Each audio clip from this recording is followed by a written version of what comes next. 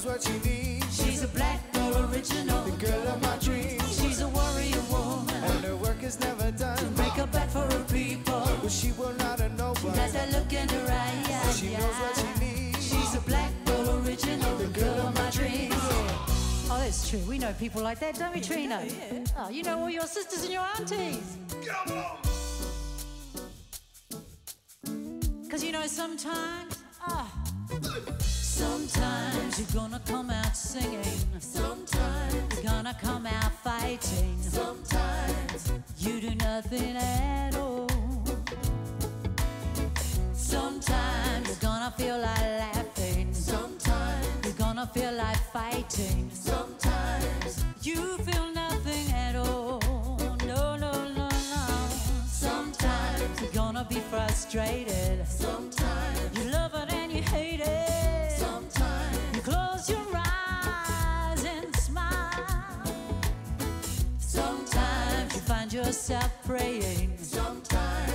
and tired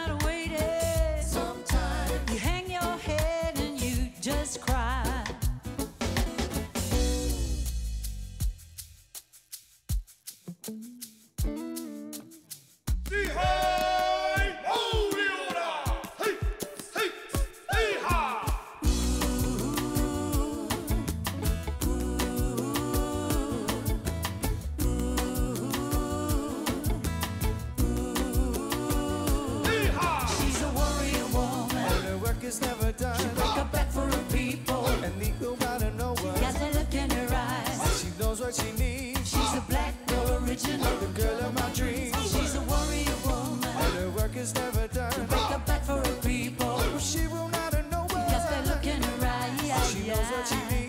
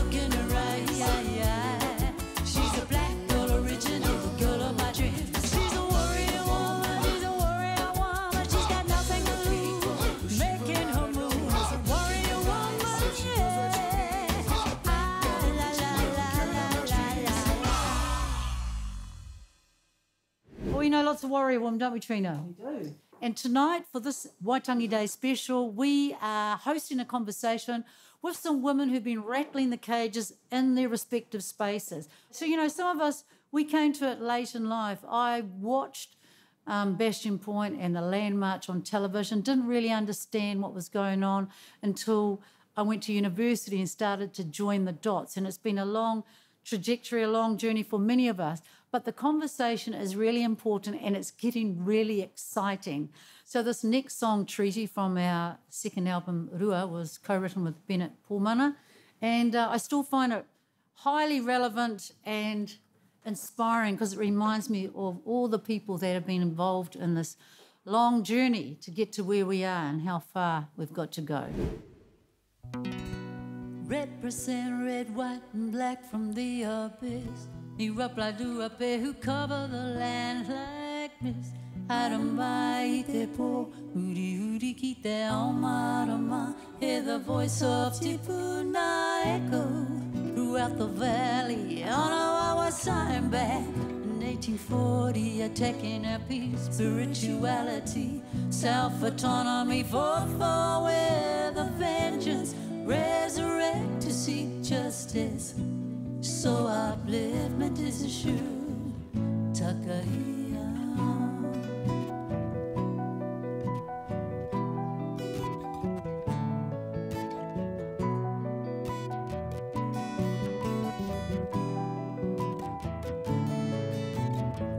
Separated, segregated from my culture, destroyed from within. Deprived of heritage in the system, swearing allegiance to the Queen of Mother England. Tino Rangatiratanga is what you hear. From Tonga to Whenua, for sure, seabed. We march cause we care. Got a hunger for knowledge and global consciousness. Sing it now. Treated. Treated.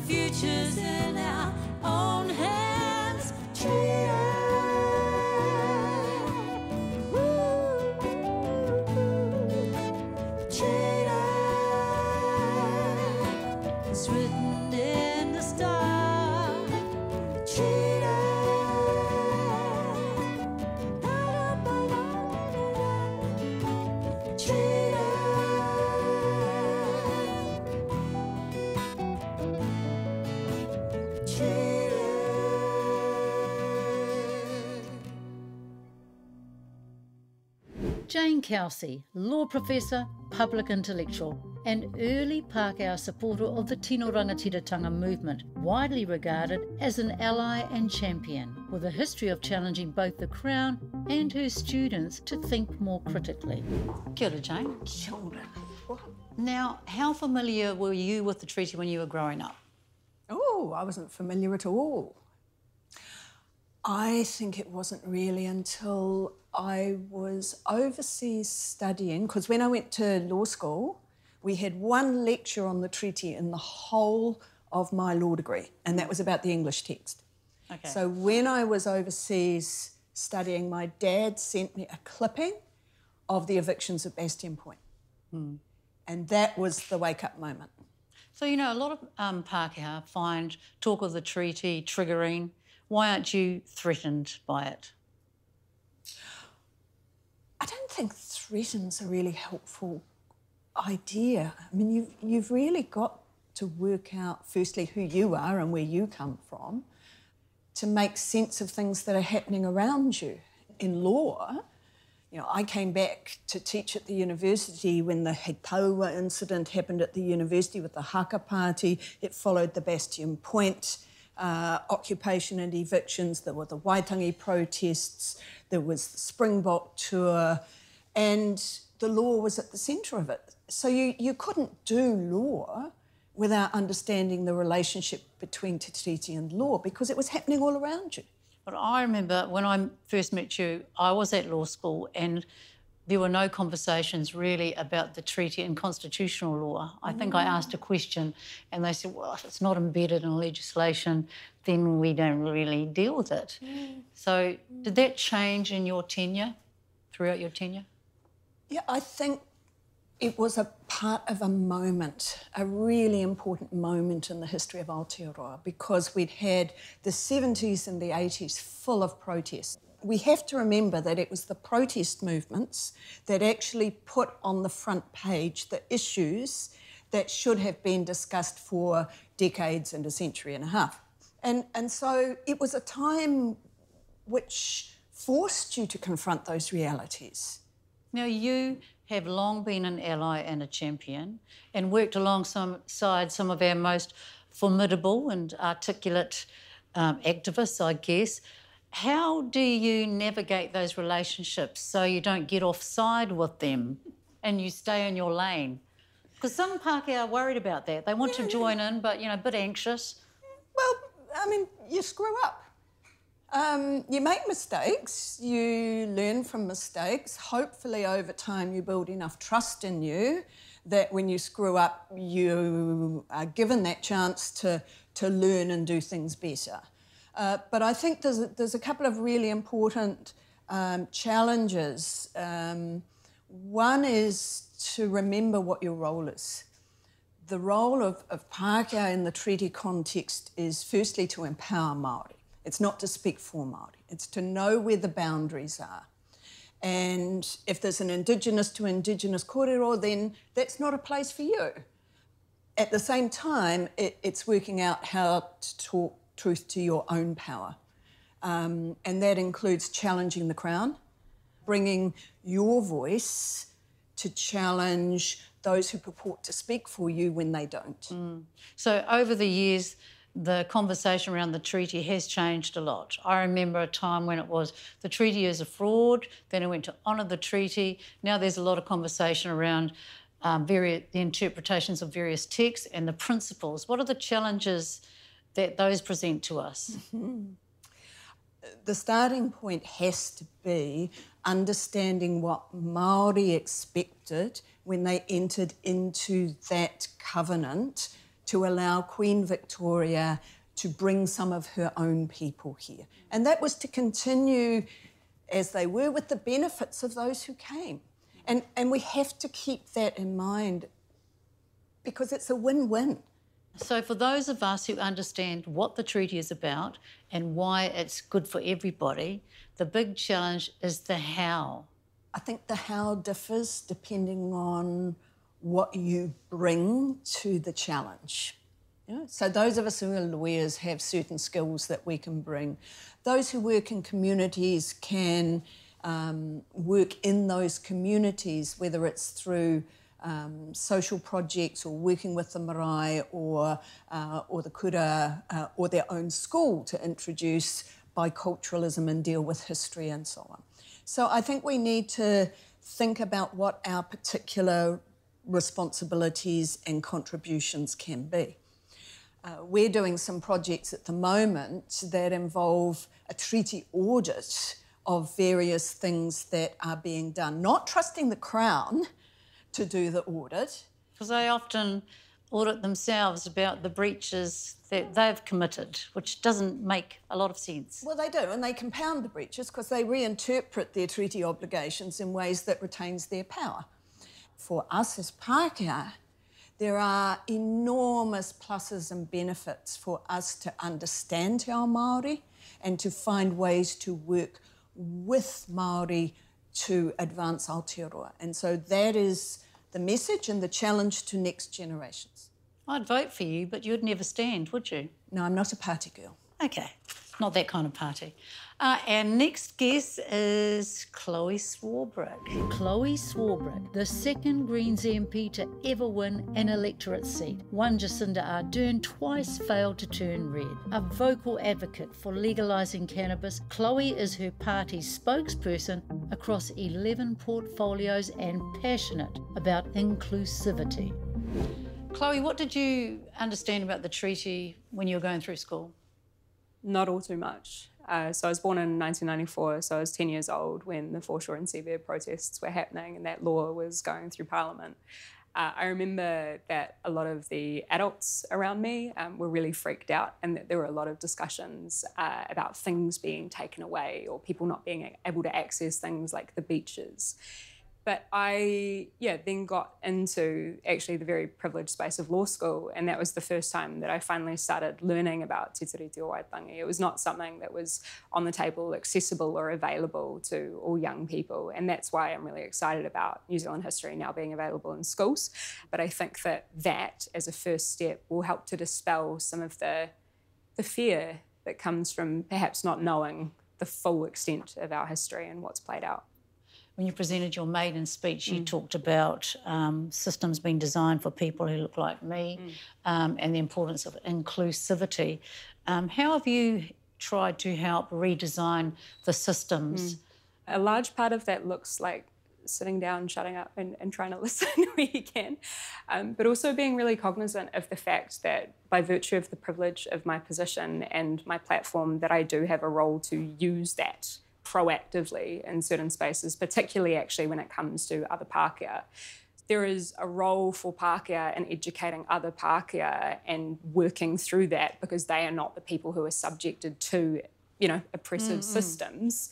Uh, and that I think is the only way that we can work through some of this polarity that's currently playing out. And you know, in its worst instances, that's where we get conspiratorial theories, as we heard around the likes of He Puapua. Oh my goodness gracious, yes. So Chloe, um, one of the challenges, of course, is to move beyond rhetoric and into mm. action.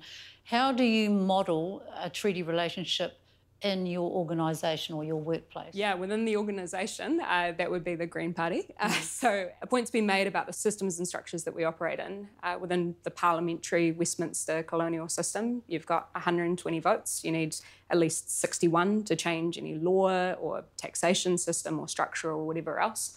When it comes to particularly the treaty settlements, uh, we have it as a matter of course that we will consistently put on record that there's no such thing as full and final. And I find the very notion of full and final quite ironic and hilarious unto itself because the Crown will always be the first to admit that that financial recompense is never going to be yeah, recompense for what's occurred. So, can we have a conversation about the treaty without having one about neoliberalism and capitalism and all the other isms? Well, it has to be about colonisation and colonialism because they're all manifestations of that same model. And I'm sorry, Chloe, but the system of the Crown as it is, until that system is prepared to actually, or forced to share power in a real sense, we're not going to resolve any of those isms. Mm. And we um, need to mobilise people to actually think that that's going to be a great idea. So I'm going to bring in my next guest now, Dame Susan Devoy. Dame Susan Devoy, the former number one ranked squash player, holder of four World Open titles, who in 2013 was a controversial selection as the New Zealand Race Relations Commissioner, a role she describes as incredibly revealing. Your role as race relations conciliator, what was the main kind of learning that you took from that? That's a very strange position, to be perfectly honest, I can say that now. Um, I remember when I first started in the role, I was advised never to use the word racist. But, so, pardon? But your title was. I know, I know, because that would engender all sorts of very difficult conversations. I was also told at the time by the Chief Commissioner that I was responsible for every other race in New Zealand except for Māori. Who, who was responsible for the Māoris then? Well, we had a part time uh, Indigenous Commissioner. So you can understand how problematic my role was in the very first place, you know. So I'm not making excuses for the good and bad things I did and whether I stuffed it up or did whatever, you know. Um, but going into an environment like that, when you think, what is your role? And you get instructed with those things at the very first place, you're going to think, well, if the Race Relations Commission's confused, imagine how everyone else is going to feel. But so what have I learned? If I was to look, and I can now, because I've soul destroying, stashed them on my computer somewhere, all the complaints that came to me personally, and I was expected to reply to them. I would say 75% of it was a sentiment of anti Māori and anti treaty. From Pākehās, of course. From everything, anything and everything as small as I resent being called a Pākehā, too much, you know, bigger and perhaps more important issues that you could have a frank discussion about. But so what does that say? So that says to me that that's where we are as a country. People are very, very anti Māori and very anti treaty. Well, when I say very, that hasn't gone away, hmm. it's still there. How did you and what did you learn about the treaty and those kinds of relationships while you're in that position? I think it was, and what I think is really important about going forward is, is having experiences. You know, whilst I'd been on Marais and so many Kiwi haven't. Yeah. So many Kiwi don't understand about parihaka, you know, so many. And that's why I think um, what I learned about the treaty was it's, it's a really positive thing. And the average New Zealander sees, you know, colonisation as a dirty word as well because... And something in the past. Well, they don't understand it. So we've got to actually, as well as education in our schools Uh, for our children, which is, you know, that's how you change a generation, which is really important. But that education also needs to be about the entire New Zealand history. So not just about Maori and the treaty, because you know we're going to go forward and miss out all the other good bits of our Chinese, of our you know Muslim communities. and that. But the treaty is something that is never described as being, well, not never, um, because we all come from. But for the, I'm always talking about Joe Bloggs here. Yeah. I think um, it's important. Yeah, yeah. It's just you know because these are the people that we have to bring along in the conversation. So, you know, if everybody had the opportunity to go to a treaty settlement, you know, you even if you were the worst redneck racist in the whole of the country, you couldn't help but feel powerfully and emotional about, you know, what's happened there and what the good that will bring to the people. Hmm. You know, I want my children, my grandchildren, to grow up knowing that if we address the inequities for Māori and Pacifica and everybody else, then that's good for everyone. Mm. That's going to make Aotearoa a much better country. How would a treaty compliant or focused Aotearoa make a positive difference to Pākehā, Jane? It will give us a completely different toolkit to deal with the challenges that confront us. Know, um, whether we're dealing with the climate crisis or we're dealing with health or we're dealing with housing, homelessness, job creation. And, and what we've been talking about here is a challenge that is urgent, but it is not a challenge that those who have power are currently prepared to engage. How do we bring people on board, Susan, in terms of understanding that the treaty and power sharing is a good thing for all New Zealanders, not just Māori, but for Pākehā and uh, immigrants that come in? Well, I think I agree with Jane. You know, unless the people we put in charge to govern us actually make some very tough decisions, but they're too scared to. You know, I look at it and I look at all the different government organisations around that are, you know, trying really hard to be good treaty partners, okay? But it's all just a ad hoc, tick box, tokenistic. Some do it really well, some do it really badly. And I look at examples when you sit around and all the Pākehā in the room are like shit scared, you know, because they're shit scared they're going to get it wrong. Uh, and then you go to, to another organisation, they do it completely differently. And I'm not saying a one size fits all everything, but let's have a really authentic go. Let's get some really good examples of good kaupapa around treaty partnership. But I agree with Jane, you know, and I'm going to lose a whole lot more friends over this, that unless our politicians, our government are powerful enough to actually enforce or make sure that this that there is a real, genuine Crown partnership, it's not going to change.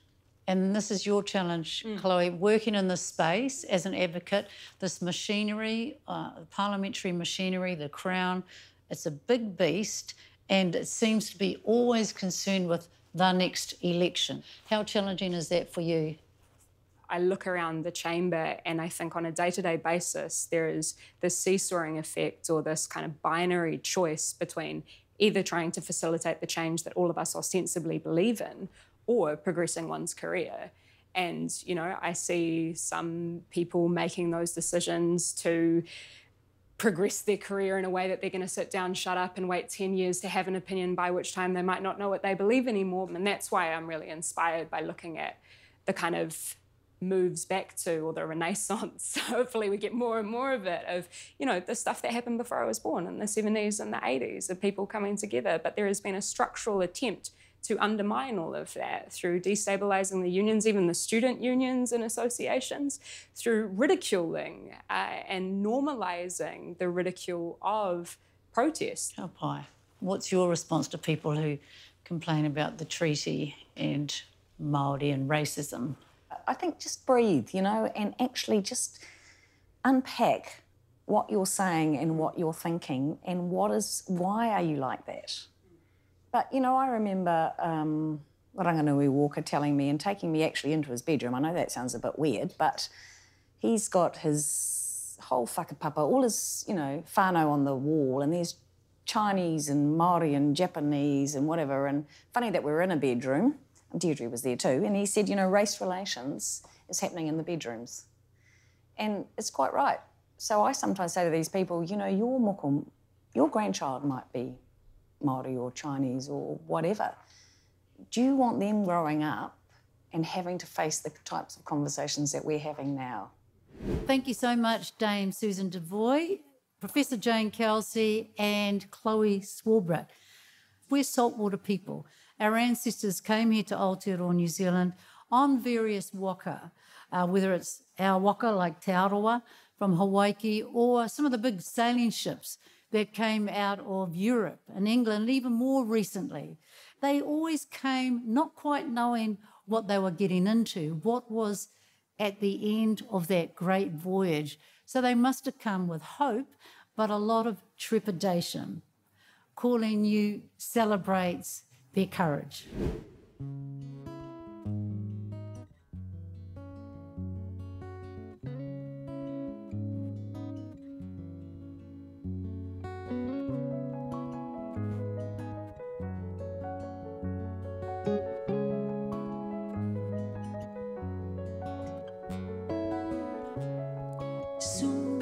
We're coming back this way. I'm feeling so pleased about it. I feel like sailing across the seas beneath the great divide.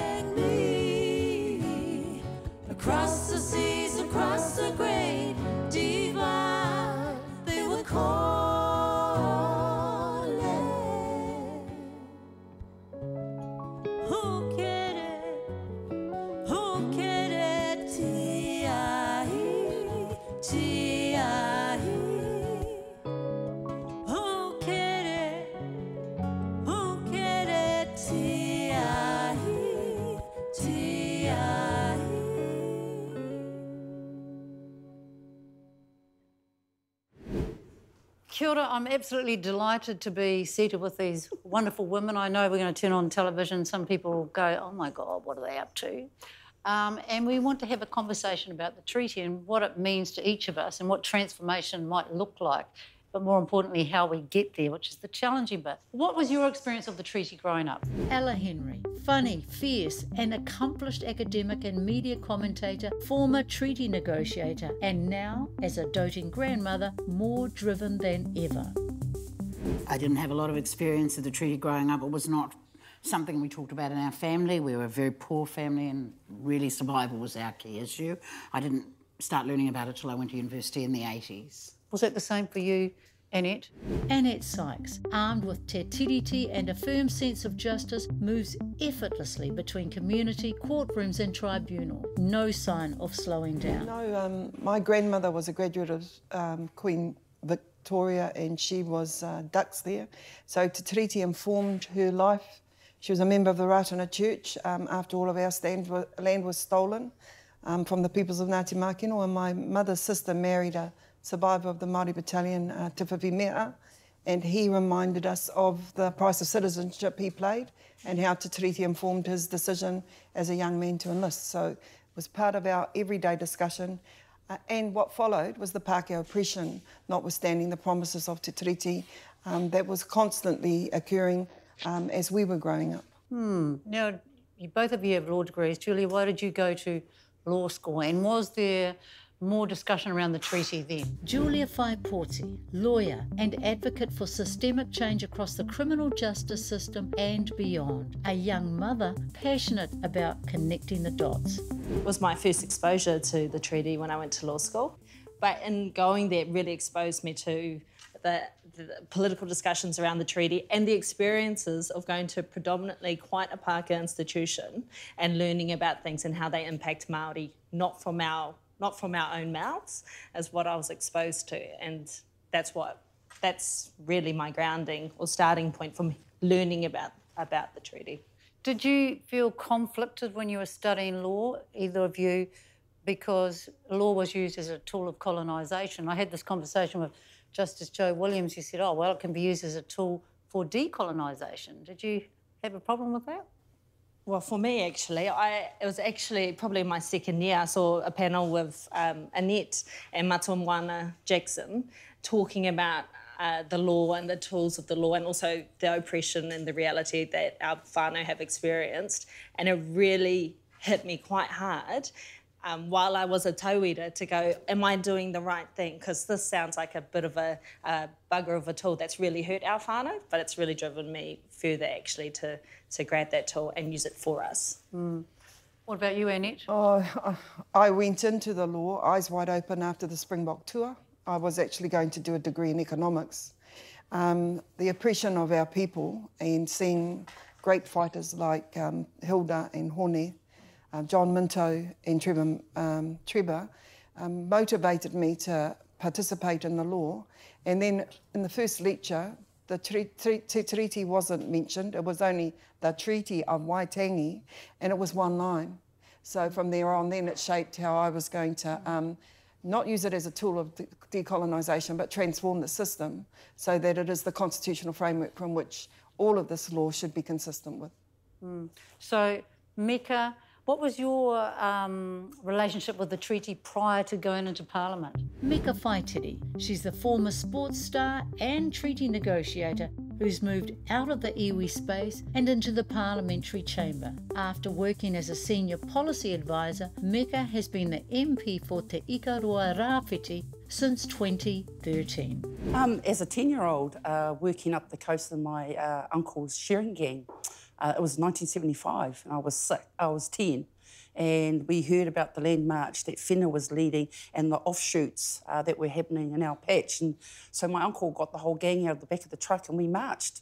Uh, I was 10. I, I, didn't know what it was about. All I knew it was about protecting Māori land rights.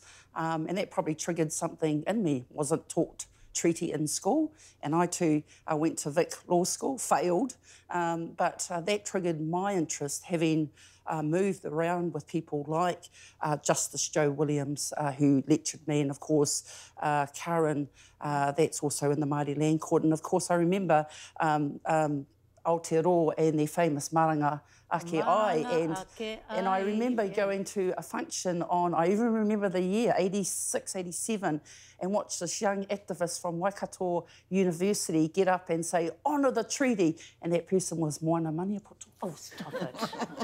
stop it. There you go. Hey, um, hey, Hilda, the, the discussion used to be the treaty was a fraud. Then it seemed to move to honour the treaty. And then it's talked, we talk about the principles and people dissect the texts. Um, and then it seemed to be a lot of activists started to move into Parliament. Um, can you comment on that sort of a change in thinking and strategy? Hilda Halkyard Harawira, a stalwart of the Tino Rangatiratanga and Black women's movement since the day she challenged university students over their mock haka. Now a driving force behind kura in her community. I suppose there's been a lot of phases about um, treaty education. I started learning about it when I was about year six, the times table and the treaty as a project. But um, I think it went through phases. The first phase I learnt was the Crown view, and, and the treaty was like that. I mean, and, and when I became a member of Ngā Tamatoa, everything pointed back to the treaty. Um, and after the Land March, the Bastion Point, there's all this awareness gathering, and like when you listen to all the wānanga and the debates, everything comes back to the treaty, the bad uh, results, the bad data, that you know, blah blah blah. And so I think it's gone through a lot of phases, and we've been part of decolonising some of the lies about the treaty that have been perpetuated. And for me, uh, the Ngāpuhi claim in 10, 2010, when I learnt that um, actually Ngāpuhi and Muriwhenua only signed Te Treaty or, or Waitangi, you know, whereas we all had believed this, swallowed this big lie that, you know, we were breaking the Treaty of Waitangi. So, so those messages have changed over time and, and some have become more acceptable, but they're all right. they're all correct in their own way. Yeah, so Ella, um, one of the challenges is to help people understand it, the relevance of the treaty in their lives. So if you think about your whānau up north, and how do you join the dots or help people join the dots between te treaty and their daily lives as whānau, struggling, challenged in life? I mean, I don't think anybody has the ideal answer to that question. And one of the things I'm heartened by is that as a nation, we're working through those very questions.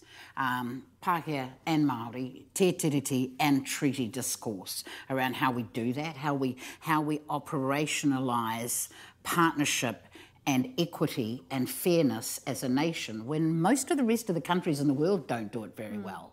So, so we do have something of a mandate in this country, which Māori are intrinsically woven to. So, what does that mean for me and for our whānau in the north? Is is to be able to live our best life means that we can live in a fair community and society, and how how we do that by being part of the political structure, being part of the media, being part of the law, being educators. You, you know, we as a people have survived three thousand years of discovery in the Pacific.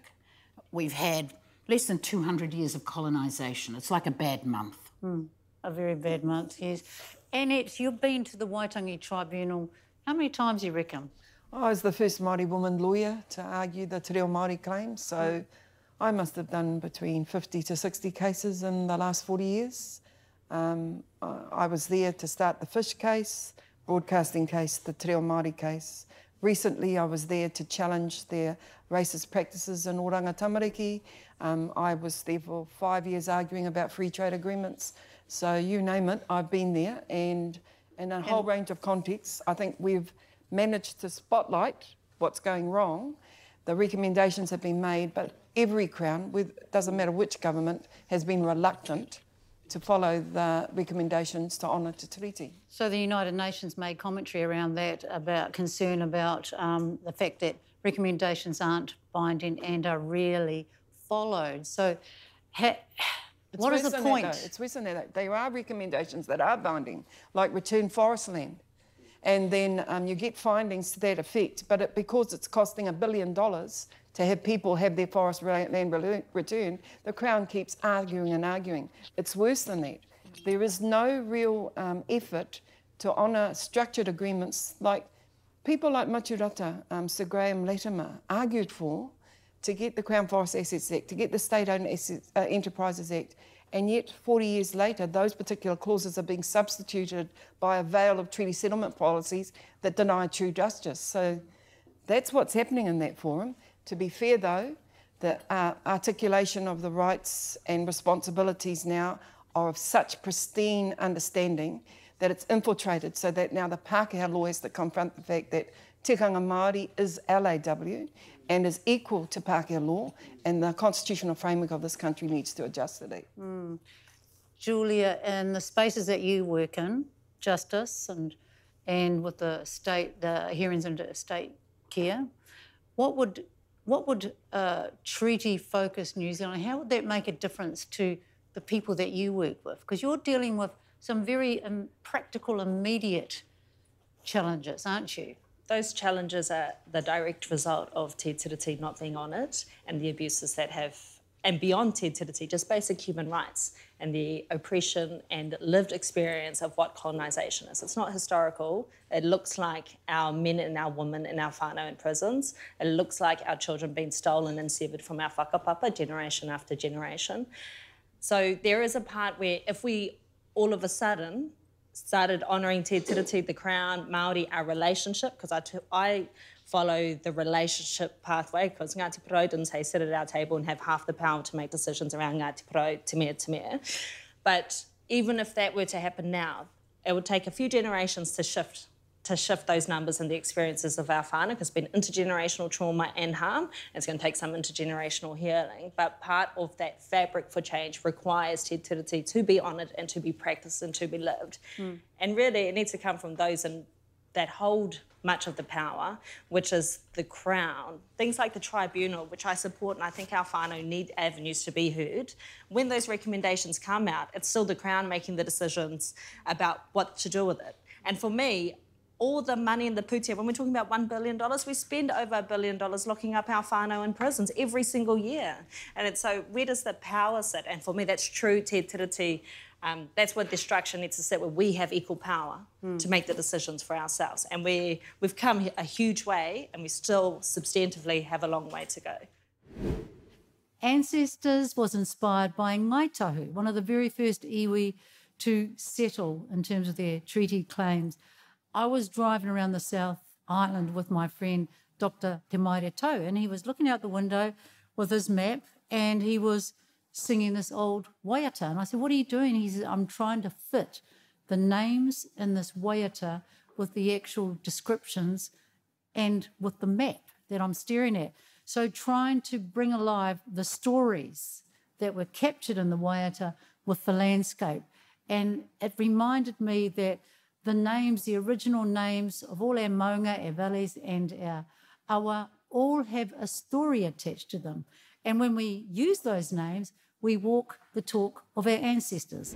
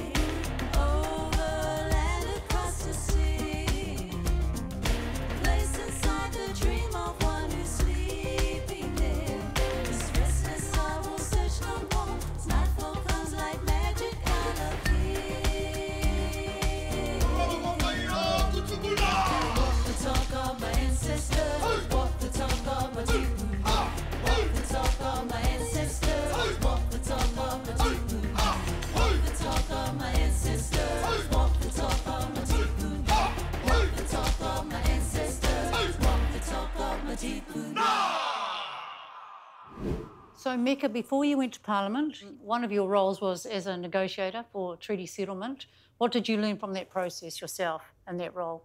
Uh, never to trust the Crown, uh, that uh, you needed to push them really hard uh, to make sure uh, that you focused on who the true enemy was, uh, that you were never, ever, ever going to get your full compensation of what you lost.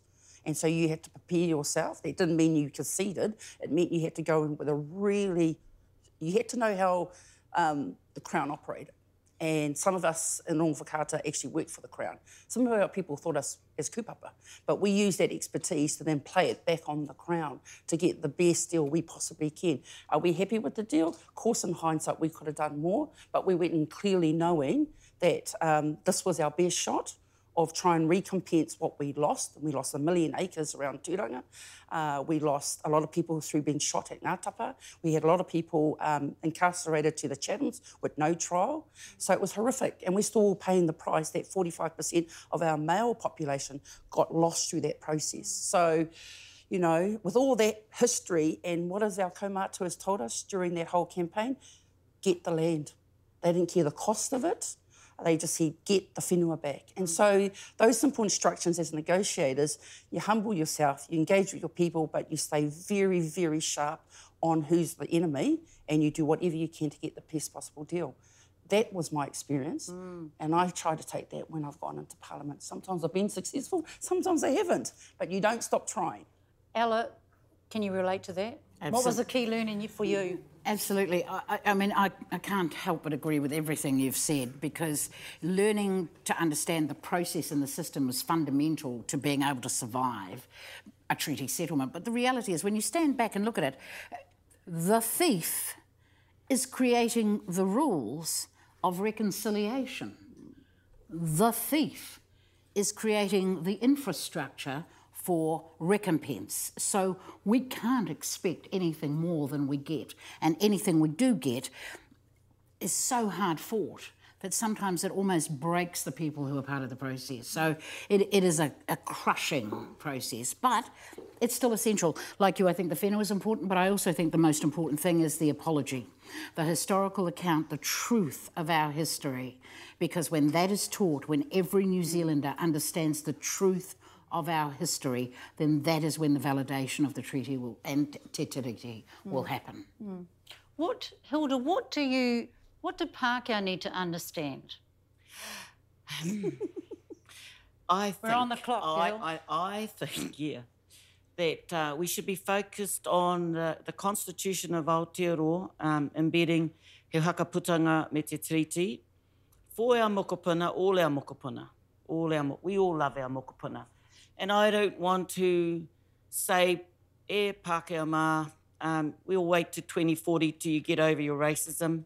Um, I just think we need to do it quicker than that. If you can act to COVID, you can, you know, the racism's been going on. I don't want to put any more submissions in front of you. I don't want to wait 40 years for you to throw your pennies at me. Just do it. Uh, whatever government's in, um, whoever gets rolled, I don't care. Uh, con- you, you know, the fact that the Waitangi Tribunal recognised everything that Ngāpuhi's been saying for over 180 years is cool, but actually we knew that Ngāpuhi never, ever, ever, and Muriwhenua never ceded sovereignty. So yes, I'd like to have a constitution of Aotearoa on the plate. And I really want to ask Pākehā, Pacifica and other multi uh, racial communities to total tautoko us. They don't, we don't dick around wasting time. Ka pai, lovely, well said as usual. Annette, we've been working in particular spaces over the years, and and our uh, friend uh, Moana Jackson has said one of the challenges is that incrementalism becomes stasis, and sometimes it almost looks like the end goal. So how do we? What's the how? How do we? How do we move forward with this kind of a kaupapa? So I would see that we need a decolonisation strategy. You know, um, Australia, New Zealand, and Canada still haven't committed to that, despite a whole lot of other um, countries doing it. That decolonisation strategy it shouldn't be incremental. It's about sharing power. It's a transfer of power. It's about reconstitution and reimagining of a system of governance that Te Tiriti and He Whakaputanga contemplated as the relationship between the arriver settlers, Pākehā, my father's people, and tangata whenua, my mother's people. That dream, that reimagining can happen, as Hilda says, if there's a transfer of power. I look to the new generation. They believe in it. Frankly, um, I think our generation um, uh, are, are, um, are behind the eight ball in the transformative change. So um, I'm Don't you see more allies and champions in, in park, among Pākehā now?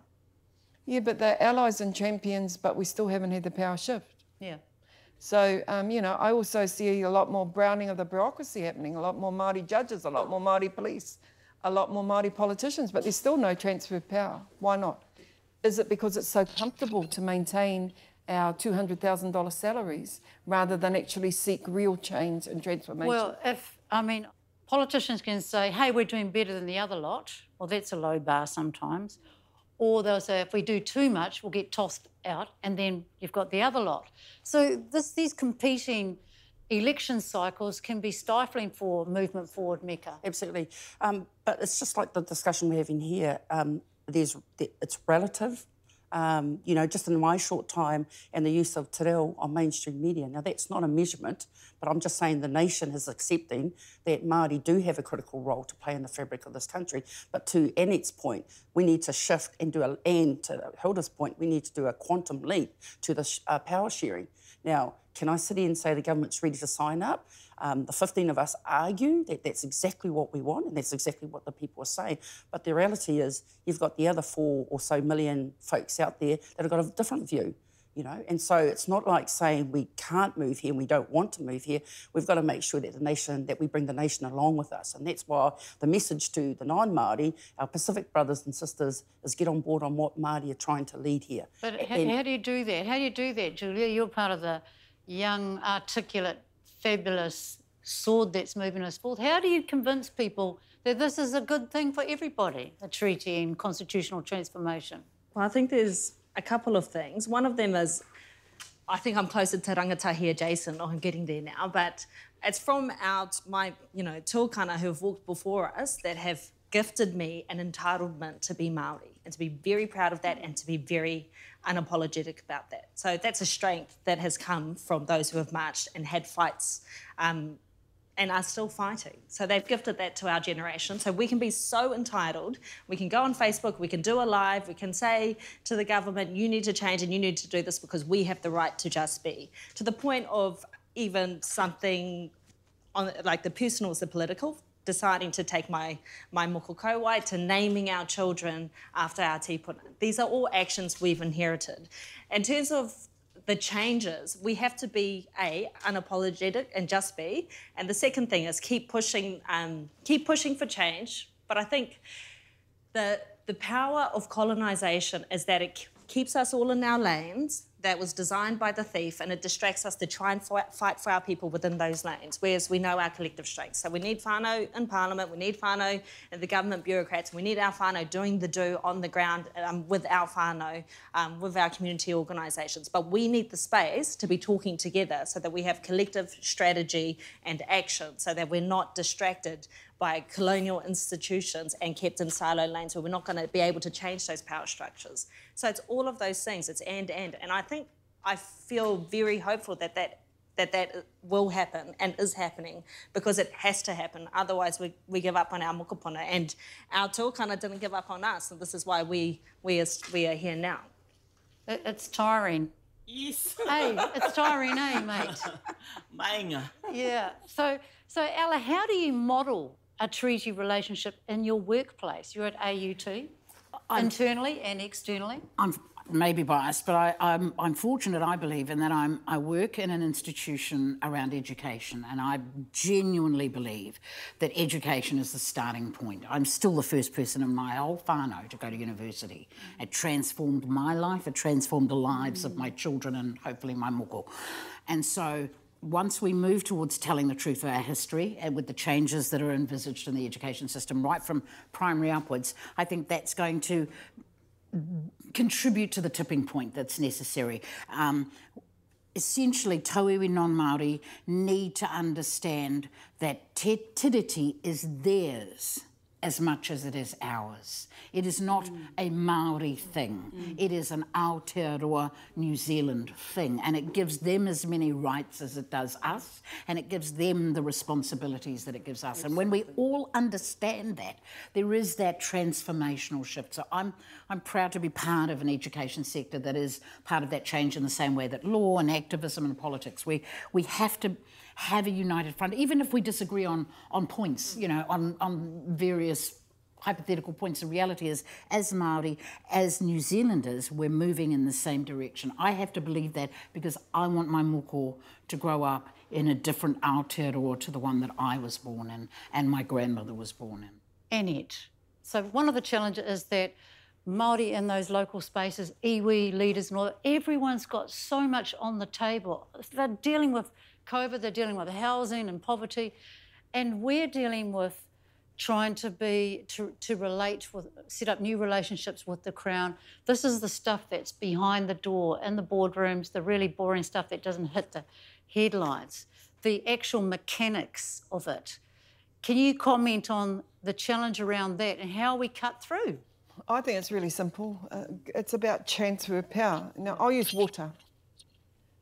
The, Crown knows that Māori own water, but they won't allocate the rights and interests of it to water. They have a system at the moment, though, that allocates the rights to use water, and Māori are at the back of the queue for our development needs for that. Now, simple solution. Confirm that Māori own rights and interests in water.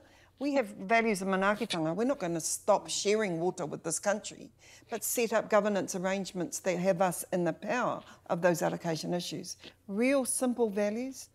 You know, uh, my Pākehā father was a neighbour to Tūhoe. They shared water for mutual survival. Dairy farming him, them for their trees. There was meetings going on locally, but there's a resistance nationally to actually give Māori the power over resources to affect change. The next, the next simple strategy is making sure the decolonisation corridor through all the schools, resourcing kohanga reo, making sure we're not second class institutions of learning. Kohanga Reo and Kura Kaupapa have not got the investment in their own structures, infrastructure, that is happening in the mainstream. Why not? Because mainstream has this inertia to change, and there's a mean spiritedness to actually providing proper support for us. And so, what, what are the values that we're asking the nation to think about? Aroha, tetahi ki tētahi, manaakitanga for future generations, but more fundamentally, recognising the power of our nation is built on values of that magnitude, not mean spiritedness. And um, what um, she's right, boss, I'm up first.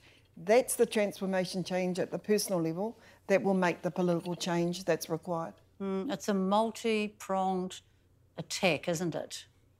Do we have the energy and enough people on board? Well, I have the energy. Everybody keeps saying, Why do I keep doing what I'm doing? uh, it's really simple. My grandmother told me to. Our land was stolen, so I got our lakes back. Um, uh, our, my grandmothers were raped, so I got that story told. And we got apologies for it. It's real simple.